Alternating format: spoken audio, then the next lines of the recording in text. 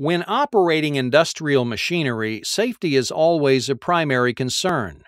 Two hand controls and anti tie down circuits are safety devices built into the design of electrical circuits that operate industrial machines. Two hand controls are an actuation device that requires the concurrent use of both hands of the operator to start a cycle. The purpose is to prevent the operator from having any part of his or her body in the work envelope of the machine during its operating cycle. Two hand controls can also describe a machine that requires two separate operators typically located on opposite sides of the machine. Both operators must be in place to allow the machine to start its cycle.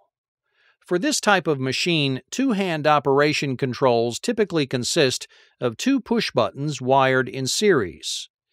This type of two hand control is simple to install and is fairly safe if two operators are present with physically separate control panels.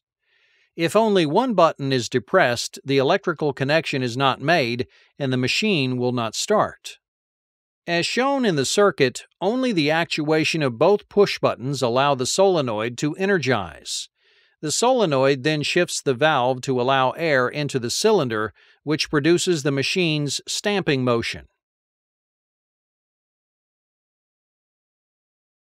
While two hand controls wired in series is ideal for machines with two operators, it becomes unsafe when only one operator is present.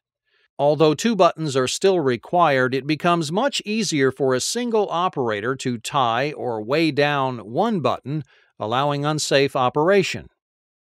To prevent this unsafe condition but still permit a single operator, anti tie down circuits are employed.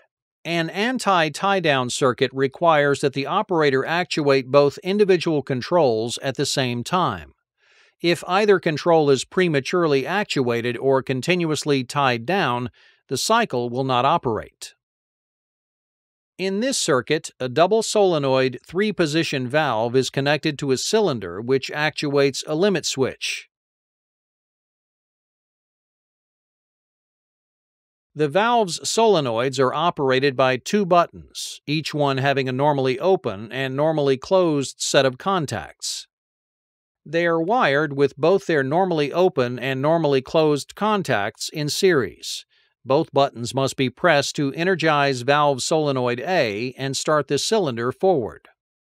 When the cylinder begins to move forward, limit switch 1 is released and goes to its normally closed position. If either button is released, both solenoids de-energize and the springs return the valve to its neutral center position, stopping the movement of the cylinder. If both buttons are released while the cylinder rod is extended, limit switch 1 allows solenoid B to become energized. The valve will shift to allow fluid into the rod end of the cylinder, causing it to retract. When it reaches the end of its stroke, it engages the limit switch, which opens the circuit and prevents electricity from flowing until the two start buttons are engaged once again. If both buttons aren't released, the cylinder cannot move back to its starting point to restart the cycle.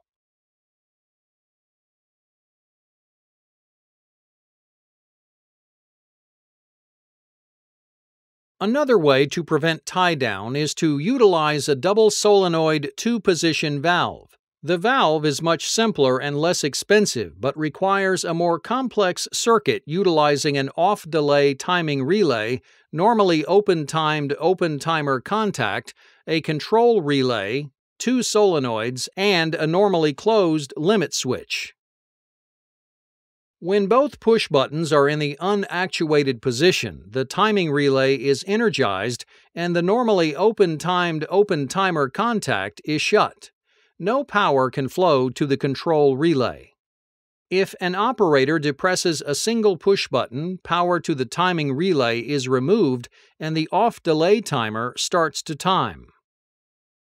Only when an operator depresses both buttons within the off delay timer countdown period can power flow to the 1CR contact relay and energize the bypass circuit. The timing relay will remain closed until its countdown completes, usually just a fraction of a second. After the allotted time, the normally open timed open timer contact swings open. With the control relay energized, power 2 flows to solenoid A. Solenoid A shifts the valve to allow fluid into the blind end of the cylinder. The cylinder begins to extend the cam and releases limit switch 1, allowing it to close.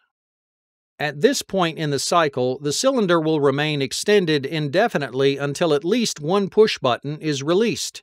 If one push button is released, the control relay will lose power, which causes 1CR to remove power from solenoid A and connect power to solenoid B. This shifts the valve, allowing the rod end of the cylinder to fill with fluid and retract the cam. When the cylinder is fully retracted, the cam energizes and opens limit switch 1, which removes power from solenoid B. The cycle cannot begin again until both push buttons are released. When the second push button is released, the timing relay is energized and the timing switch reset. The cycle is now ready to begin again when both push buttons are engaged. In some manufacturing industries, such as those that produce castings from foundries, two hand controls are mandated on specific equipment. It is the system design team's responsibility to select adequate means of operator protection. Two hand controlled machinery is an easy and effective way to ensure safe operation of industrial equipment.